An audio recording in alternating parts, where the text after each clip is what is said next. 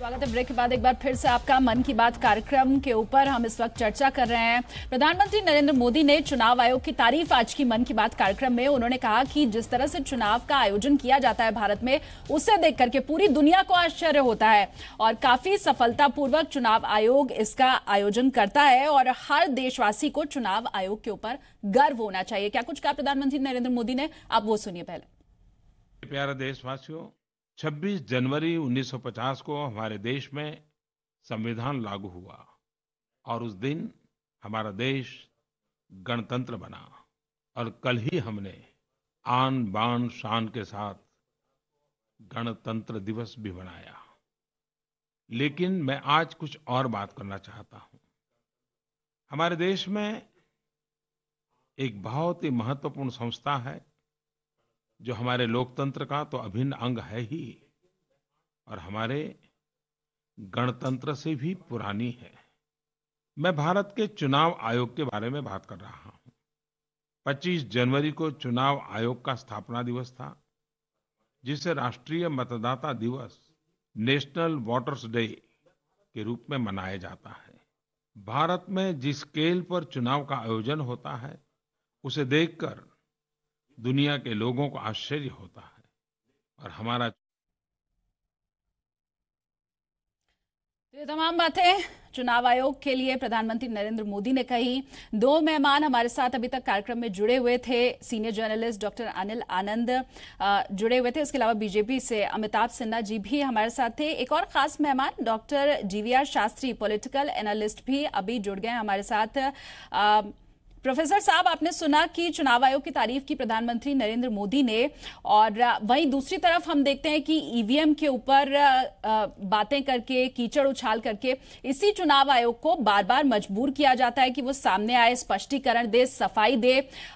तो एक तरफ़ प्रधानमंत्री नरेंद्र मोदी जहाँ कह रहे हैं कि देश के हर नागरिक को गर्व होना चाहिए, वहाँ हमने देखा कि विदेशों में जाकर के भी लोग ईवीएम के ऊपर, हैकिंग को लेकर के जब ऐसी बातें करते हैं तो चुनाव आयोग के ऊपर गर्व करने की जगह कहीं ना कहीं उसके ऊपर आरोप लग जाता है।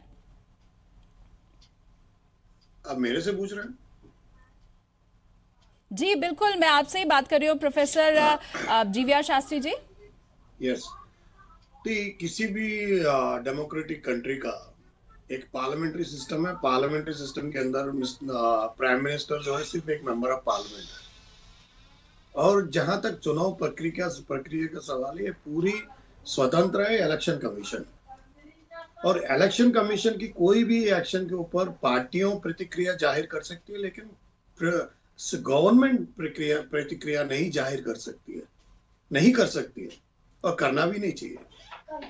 कोई भी एडवाइस नहीं देना चाहिए, कोई बातचीत उनके लिए नहीं कहना चाहिए, क्योंकि बाद में पाँच साल के बाद चाहे मोदी जी हो चाहे कोई भी प्राइम मिनिस्टर हो उनको पार्टी की तरफ़ से अपना चुनाव हम्म। लड़ना होता है दोबारा वापस आना होता है हम्म। क्योंकि एक प्राइम मिनिस्टर का ये एक इनका एक बात नहीं होती वो आप चुनाव प्रक्रिया का और हम्म। चुनाव की उसकी बात के ऊपर कोई भी क्योंकि जनता की मतलब है ना जनता अपना बात आपत्ति जनता बोल रही है भाई एक ये इस तरीके से नहीं होना चाहिए बैलेट नहीं होना चाहिए मशीन मशीन नहीं होना चाहिए बैलेट चाहिए तो उनके ऊपर अपने अपनी आपत्ति है जनता का आपत्ति है आ, बाकी पार्टियों का आपत्ति है। वो इलेक्शन कमीशन अपना ज़िम्मेदारी निभाए अमिताभ सिन्हा जी आपके पास में होंगे एक और बात आज प्रधानमंत्री नरेंद्र मोदी ने कही थी उन्होंने स्वच्छ भारत अभियान का ज़िक्र किया और किस तरह से गाँव स्वच्छ भारत अभियान में शामिल हुए और मुक्त भी हो गए हैं। बहुत से गाँव खुले में शौच से मुक्त कर दिया बहुत से गाँवों ने आंकड़ा में जरा एक बार फिर से याद दिला दूँ यहाँ पर आपको।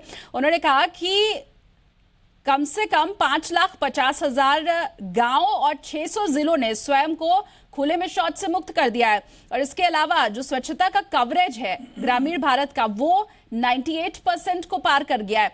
तो यही वो आंकड़े हैं, यही वो सरकारी योजनाएँ हैं, जिसका ज़िक्र आज प्रधानमंत्री नरेंद्र मोदी ने मन की बात कार्यक्रम में किया, जिसके चलते हम ये कह रहे हैं कि कहीं ना कहीं ये आने वाले इलेक्शंस को देखते हुए रखा गया है, क्योंकि हाउसिंग फॉर ऑल का भी इसमें ज़िक्र किया गया, मनरेगा का भी इसमें ज़िक्र किया गया। क्या कहेंगे आप?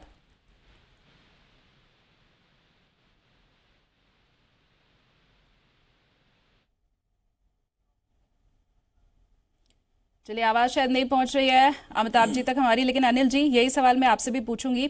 98 परसेंट ग्रामीण भारत स्वच्छता कवरेज को पार कर चुका है, ये कहा प्रधानमंत्री नरेंद्र मोदी ने।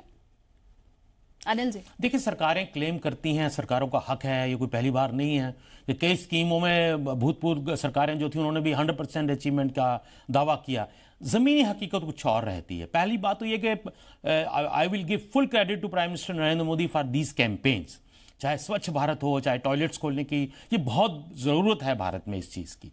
लेकिन इसकी इसकी कितनी कामयाबी हुई है 98 परसेंट बहुत बड़ा आंकड़ा है।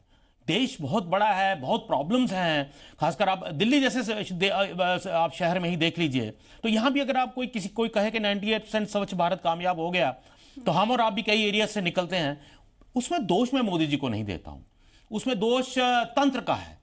और जनतंत्र का भी है। तंत्र जब मैं कहता हूँ तो सरकार और एडमिनिस्ट्रेशन और सिविक बॉडीज क्योंकि तो वो अपना इंप्लीमेंटेशन के काम में कहीं ना कहीं कमियाँ करती हैं। और जनतंत्र जब मैं कहता हूँ तो मैं जनता की बात कर रहा हूँ। We as people of India हमें कुछ और सजग होके जरा और एक्टिव होके इन चीज़ों को करना है। अपनी अपनी जगह पे भी हम एफर्ट अगर आप करें अपना घर अपना मोहल्ला अपना एरिया अपना जब खेत में जहाँ पे आपके टॉयलेट्स बने उनको भी साफ़ रखने की कोशिश करें तो मुझे लगता है कि ये अठानवे क्या हंड्रेड का आंकड़ा भी तब माना जा सकता है कि पूरा हुआ।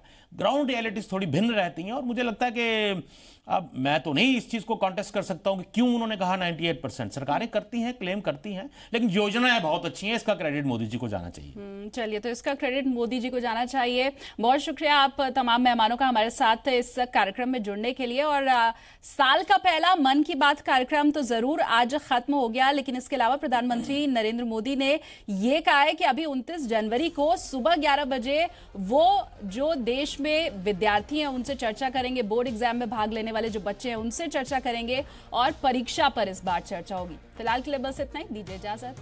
नमस्कार।